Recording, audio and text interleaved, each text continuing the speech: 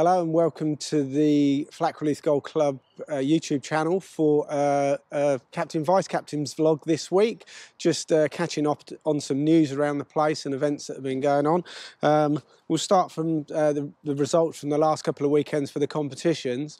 Um, the first of them being um, the Pros tournament this year, which was run by Simon um, and very, very well supported. Simon put a lot of effort into the into the two-day event, and we had 161 entries into the competition, which I think is fantastic.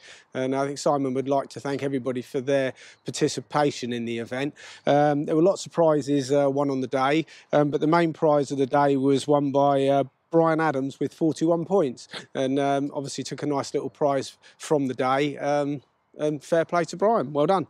Uh, the main medal um, was last weekend.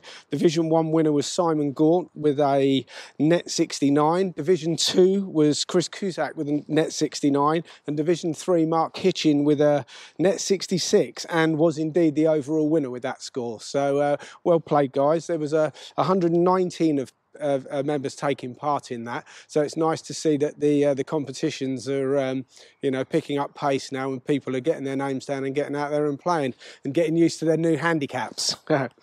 um, the next things, well, we've got the Barnes and Lacey Cup coming up this weekend, um, so there's still places available for that. They're board competitions, so um, you know, get your names down and let's support this this weekend's events in the numbers that we've supported the last two. Um, you know, and see if you can get your name on the board to be uh, in eternity forever. Uh, coming up in the next few weeks, and we're starting hopefully with the club matches. Um, we are due to play Winter Hill on Saturday the 22nd. Um, this will be the first of uh, our matches of the first two of the season, uh, have hopefully be been rearranged for later in the year. Um, if you're interested in playing on in these, um, as we can't, you know, run the the paper entry sheets like we used to. We're now doing it online. So all you need to do is go on to the um, Flackwell Heath site, scroll down to competitions, uh, click on matches and all the club matches will appear and then just express your or enter the matches that you're available for on there. Um, but if there's any questions on that, uh, please feel free to contact us um, either in, in, the pro shop um, or me or Paul directly. And if you want to get your names down and play, let's get it done and, um, you know, hopefully go and have a good few matches with some of the local sides. Um, just club news in general. Uh, hopefully from the 17th of May, we should be back, fingers crossed, to being able to offer a bit more bar service with some snacky foods and uh, beers inside. Um, obviously all subject to COVID regulations, but we'll give you an update on this as soon as the club release uh, some official comments about it. Um, also, uh, Simon from the Pro Shop has let us know that all of the single seater buggies have now been fitted with upgraded batteries. So um, I think there were some problems with some of these barely making the 18 holes, but this has all been taken care of now, he tells me. Um, as many of you have noticed, the work has commenced on the practice area, um, and Turf Tonics have said there's a little bit of hold up um, with the acquisition of materials.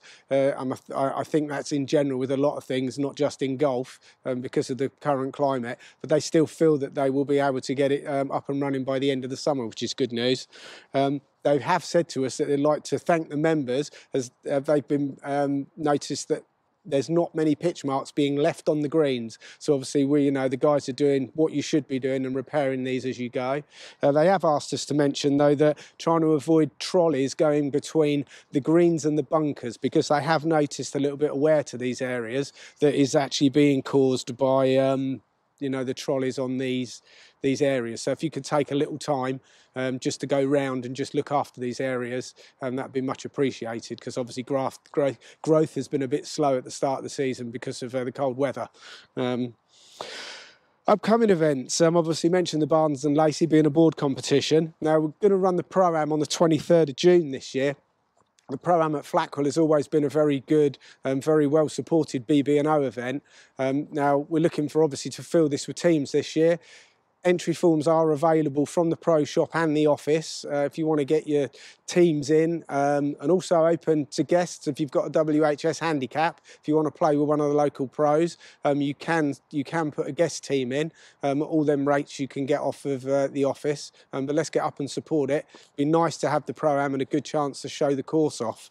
Um, and also following that on the 20th June the date for the diary is the captain's day.